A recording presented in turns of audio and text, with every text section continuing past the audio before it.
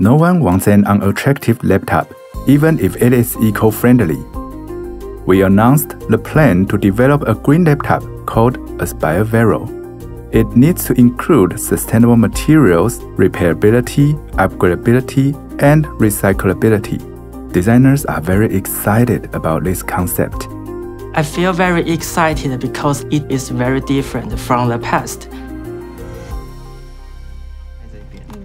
We knew how laptops were designed, but we didn't know how they were recycled, so we set out to learn about it.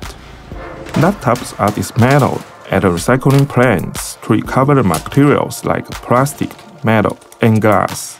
Because the laptop screws are not standardized and the internal components are glued together, they make recycling a headache.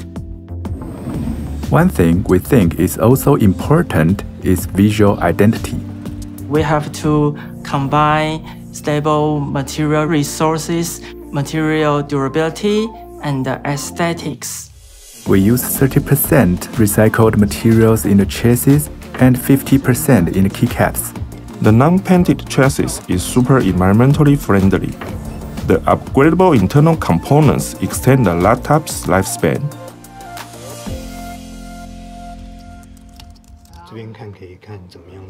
We want Aspire Vero to be green inside and out. We create software that helps the users be more eco-minded when using Vero.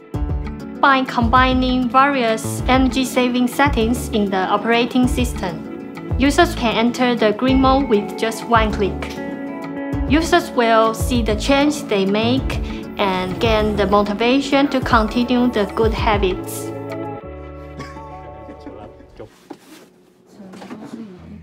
We also make sure everything on our packaging is recyclable.